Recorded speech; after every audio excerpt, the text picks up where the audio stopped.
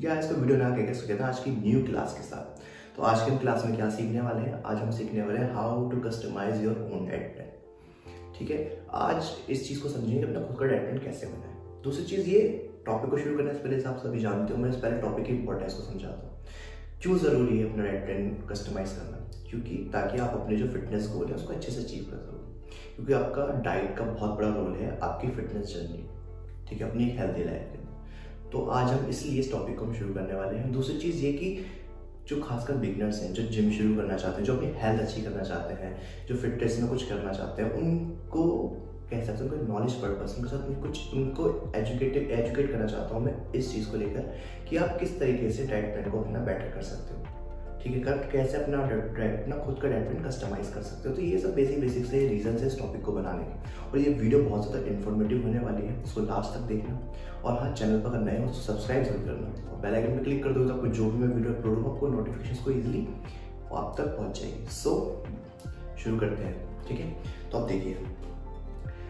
शुरू करने से पहले समझते हैं कि भाई मेटाबॉलिक रेट क्या होता है? या बोल सकते हैं मेटाबॉलिज्म क्या होता है? देखो आपकी बॉडी जो है वो ज़िंदा रहने के लिए कैलोरीज बर्न करती है तो आप सभी लोग ये सब चीज़ जानते हो, ठीक है?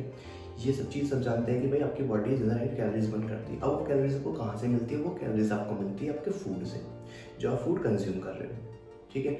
अब जिस फ़ूड से आपको कैलोरीज मिल रही है तो आपको कितनी कैलोरीज लेनी है, कितनी नहीं लेनी, वो उस चीज़ को हमें निकालने के लिए ना तो हमें एक फॉर्मूले की ज़रूरत पड़ती है, ठीक है? जिसे हम बोलते हैं बी एम आर कैलकुलेट करने का फॉर्मूला ठीक है? या बी एम आर क्या पहले बी एम आर समझ लो B M R basically basal metabolic rate है। मतलब कि ये वो मेटाबॉलिक रेट है, ये जिस रेट पर आपकी बॉडी कुछ कैलोरीज बर्न करती है। वो कैलोरीज कौन सी कैलोरीज होती है? सिंपल सा। आपको ज़िंदा रखने के लिए। मतलब जब कुछ भी नहीं कर रहे हो, तब भी आपकी बॉडी क्या करती है? कैलोरीज बर्न करती है। तो उन कैलोरीज को ये बोलते हैं हम बेजल मेटाबॉलिक रेट मतलब जब कुछ भी नहीं कर रहे तो उस टाइम आपकी कैलोरीज कितनी आपकी बॉडी कितनी कैलोरीज बर्न कर रही है उसके हमने बी एम आर बोलते हैं। ठीक है तो बी एम आर कैलकुलेट करने बहुत सारे फॉर्म फॉर्मूले भी होते हैं ऐप भी होते हैं गूगल पे भी चेक कर सकते हो। तो मैं इस चीज़ की वीडियो को लंबा ना खींच के इसको शॉर्ट में रखता हूँ आपको सबसे पहले अपना बी एम आर कैलकुलेट करना है। ठीक है? अब इसलिए समझा सकता कि वीडियो बहुत ज़्यादा लंबी हो जाएगी, इसलिए मैं बी एम आर सिंपल से आपको ये बोल रहा हूँ, आपको बी एम आर कैलकुलेट करना है, वो आप कर सकते हो किसी भी ऐप पे जाकर गूगल पे सर्च करोगे तो भी आपका काम हो जाएगा।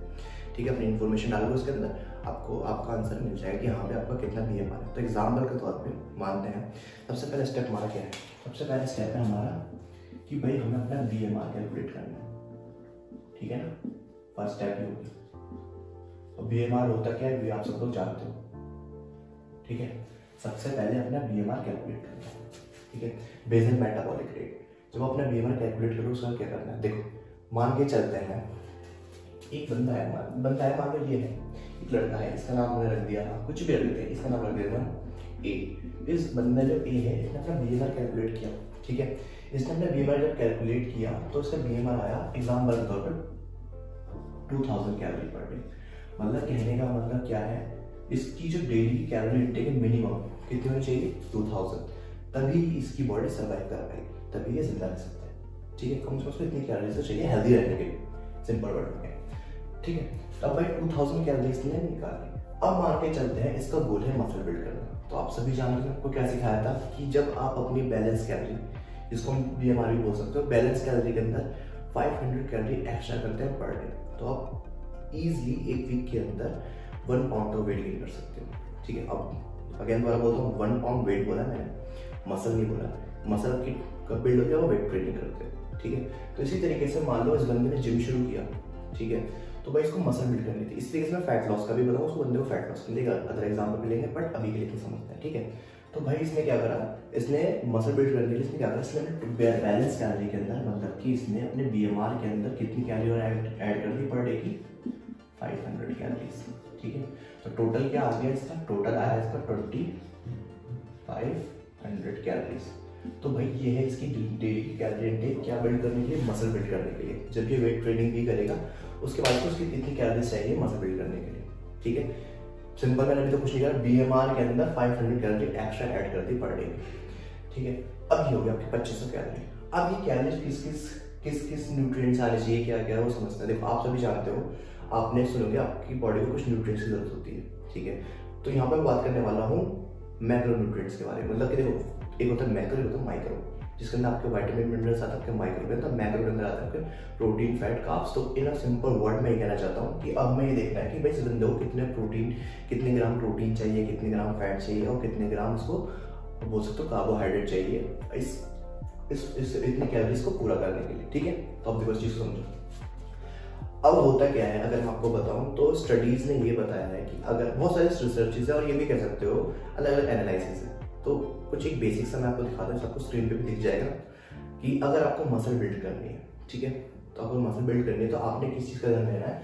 आपको अपना जो प्रोटीन इंटेक है, अगर आपको प्रोटीन निकालना है तो आपको अपना प्रोटीन इंटेक निकालना है, आपको अपनी जो 2500 कैलोरी है, इसका 25 से 30 परसेंट मतलब कि 25 से 30 परसेंट पार्ट ले सकते हो प्रोटीन से, ठीक है? अब देखो चीज़ को समझना 2500 कैलोरी तो अगर मैं 2500 को ये सबने मैथ पढ़ लेते, थोड़ा मैथ कर लेते हैं। अब मुझे 2500 25 परसेंट निकालना सिंपल सा, मैं इंटू करूँगा 25 और डिवाइडेड बाय करके करूँगा मैं? 100 ठीक है? तो इस, इसकी इंटू करने का जो आंसर आएगा, आपको पूरा कंप्लीट जो कैलोरीज निकल के आएँगी, वो आपकी कैलोरीज आएँगी सिक्स टू फाइव कैलोरीज मतलब कि 625 कैलोरी आपको किससे लेनी है?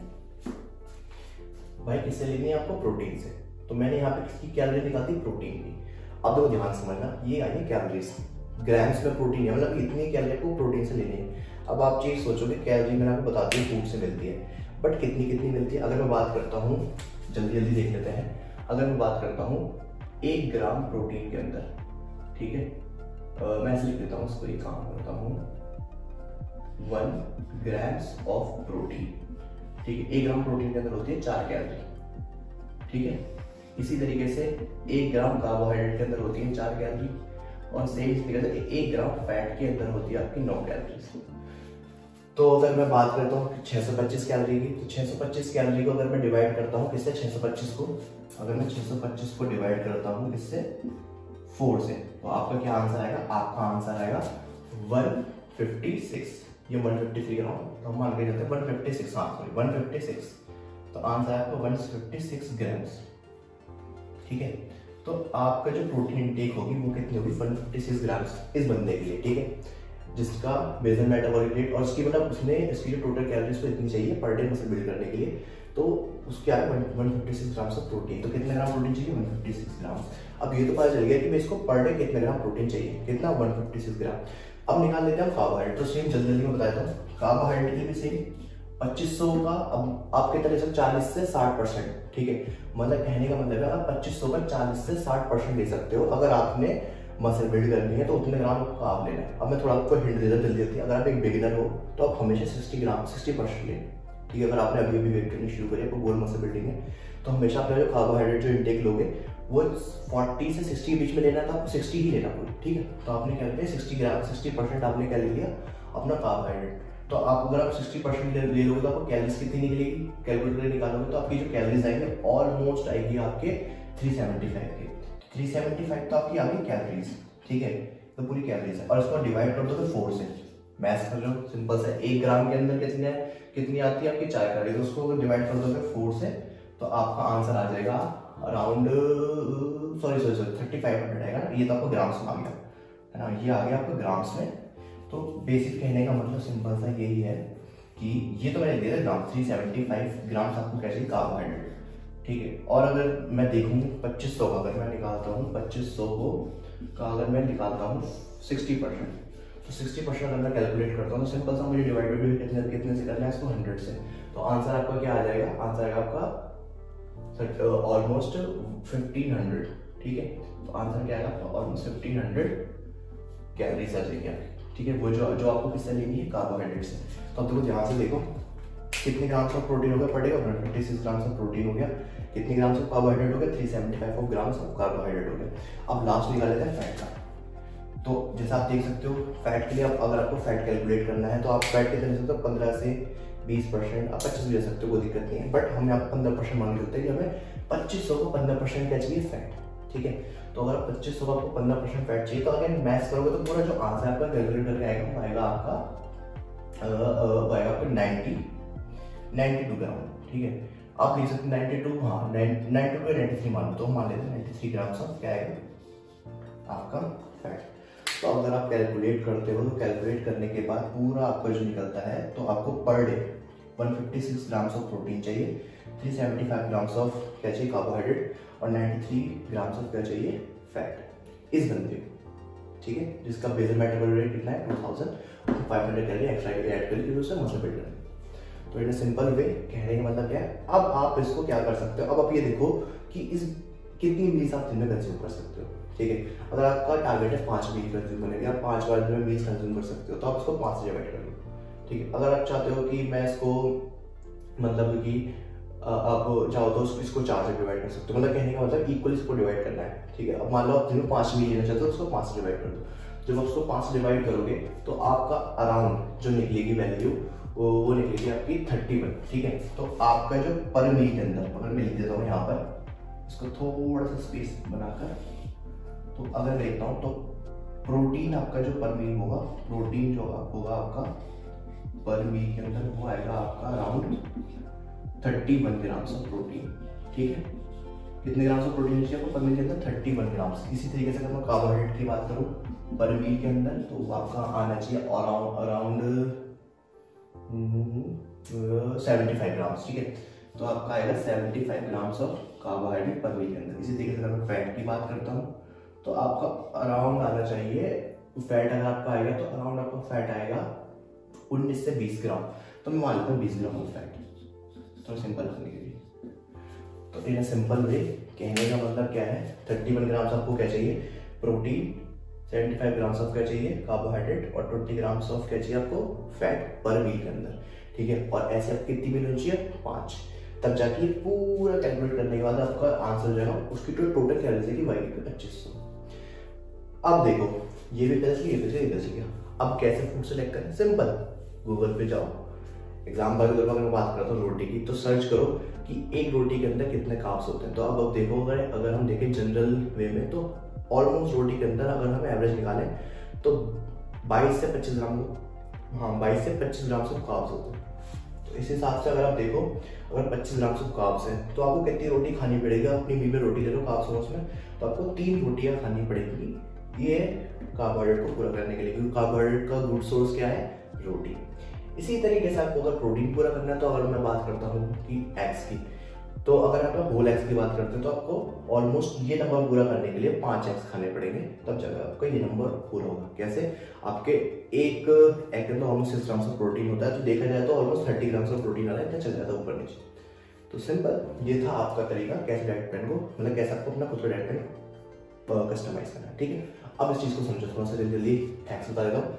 आप कोशिश ये करना, अगर आपको मसल बिल्ड करना है तो हमेशा अपनी जो कैलोरीज जो आप लो डाइट करना, कोशिश करना, वो लिक्विड चीज़ ज़्यादा है, ठीक है? एक तो वो जल्दी से कंज्यूम करना ईजी होता है उसको, और डाइजेस्ट होना जल्दी हो जाती है, ठीक है? आपको एक शेक बना सकते हो बनाना यूज़ कर सकते हो आलमंड्स यूज़ कर सकते हो मिल्क यूज़ कर सकते हो शेक बनाने के लिए बट अपनी एक हार्ड मील भी रखना इसके अंदर आप अपना राइस रोटी इनको रखना ठीक है? दूसरी चीज़, अगर मैं बात करता हूँ फैट लॉस करने के लिए तो फैट लॉस करने के लिए आपने सिंपल अगेन जैसे यहाँ पे पच्चीस सौ था सॉरी दो हज़ार आया था बेजल मेटाबॉलिक रेट इसको फाइव हंड्रेड से माइनस कर दो, ठीक है? अब अब आपका जो फिफ्टीन हंड्रेड ठीक है? फिफ्टीन हंड्रेड तो जैसा आप देख रहे हो मैक्रोस दिख रहे हैं आपको फैट लॉस करने के लिए तो आपको उस मैक्रोस के अकॉर्डिंग आपको इस चीज़ को कैलकुलेट करना ठीक है? तो बहुत ईजी है, कुछ इसमें डिफिकल्टी नहीं है। बस आपको एक मैथ्स मैथ्स आनी चाहिए बेसिक सी, तब आप इस चीज़ को पूरा कैलकुलेट कर लोगे, ठीक है? अब एक चीज़ और ध्यान रखना, आप, जैसे कि अगर आप जब इस चीज़ को फॉलो कर रहे हो, हमेशा याद रखना, अपनी मील टाइमिंग भी ध्यान रखना। कहने का मतलब आपने पाँच मील का अपना टारगेट रखा है कि दिन पाँच मील कंज्यूम करनी। तो हर मील के बीच में कम से कम आपको दो से तीन घंटे का आपको गैप रखना है और इससे ज़्यादा भी रख सकते हो बट आपको ध्यान ये चीज़ का रखना है कि अगर आपने पाँच मील का डिसाइड रखा है तो आपको पाँच मील पूरे दिन में होनी चाहिए, उस हिसाब से गैप ठीक है? तो ये था आपका पूरा आज का कैसे अपना डाइट में आप कस्टमाइज कर सकते हो, ठीक है? अगर आपको कुछ भी क्वेश्चन हो डाइट फिट और डाइट रिलेटेड कुछ भी तो कमेंट करो। और इंस्टाग्राम पे जैसे आपको पता है, मैं एक्टिव ज़्यादा रहता हूँ तो आप पे आप क्वेश्चन भी कर सकते हो।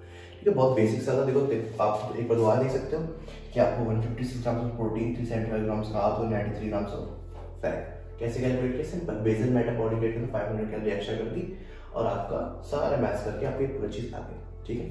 तो सिंपल अगर आपको अपना बी कैलकुलेट करना है तो आप किसी ऐप का इस्तेमाल कर सकते हो आपकी भैया मैं आपको एक फॉर्मूला पेपर शेयर कर दूँगा, ठीक है? तो आपको एक पूरा कैलकुलेट हो जाएगा, ठीक है? इसके बाद आप जानते हो आपको कैसे करना है, ठीक है? जब आपको ये वैल्यू मिल जाएगी, तब आप इजली अपना खुद का डाइट प्लान कस्टमाइज कर सकते हो, ठीक है? तो मिलते हैं नेक्स्ट वीडियो में, जब तक take care bye bye sign